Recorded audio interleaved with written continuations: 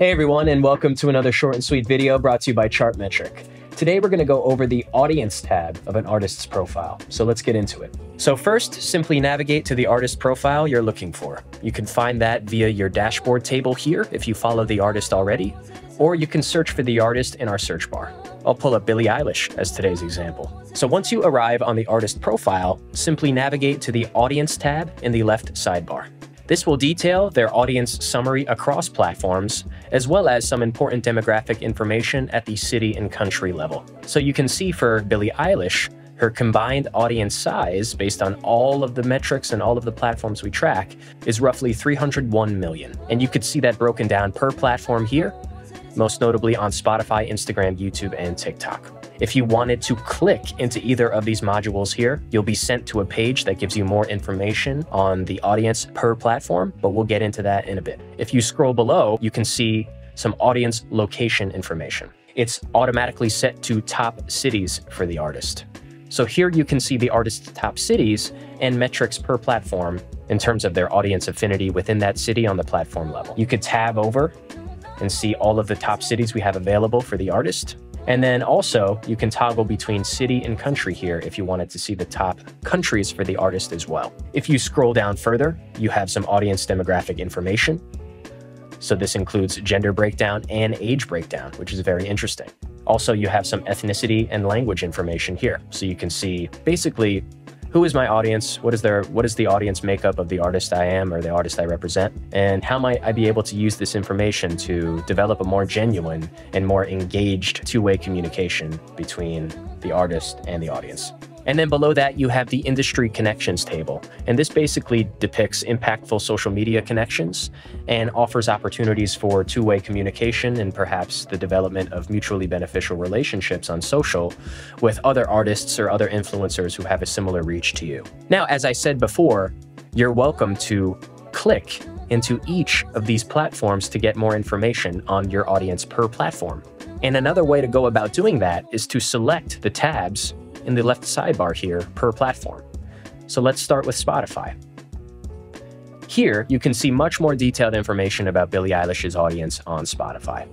You can see her followers, monthly listeners, playlist reach, playlist count, and the list goes on and on in terms of the amount of metrics we're able to track for her. Below that, you can see some follower trends here. This table depicts how many followers she's getting on Spotify over time. So you can see there's a very consistent and robust growth trend for Billie Eilish, showing that her fans are consistently engaging with her on Spotify and she's reaching more and more people on a daily basis here. Of course, it's important to note that you have different zoom options here. You have a granularity dropdown. You can either decide to include or remove certain career milestones, which would appear on the x axis of the table here. And then, of course, you have the option to download this as a PNG, or there's other file formats here that are available for you for further offline analysis.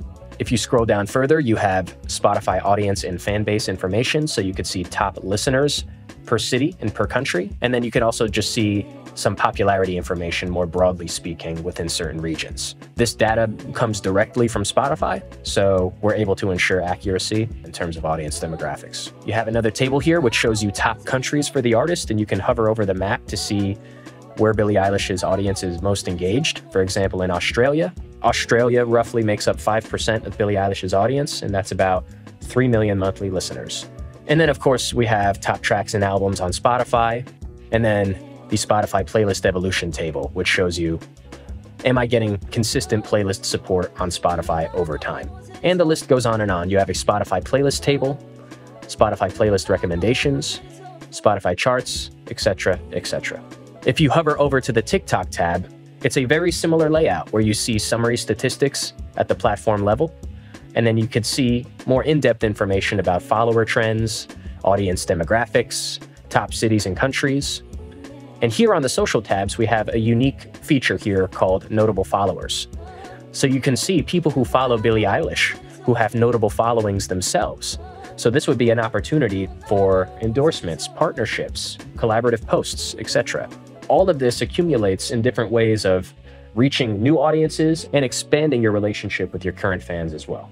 We have a table of top influencers on TikTok. This shows you which influencers have been supporting my music most consistently. And in many cases, this is organic support. So before you try to spend a lot of money hiring a TikTok influencer, see who is supporting you already organically. You might be able to develop a more genuine relationship with them and not have to allocate a certain amount of your ad dollars to an influencer who doesn't already support you in that organic and authentic way.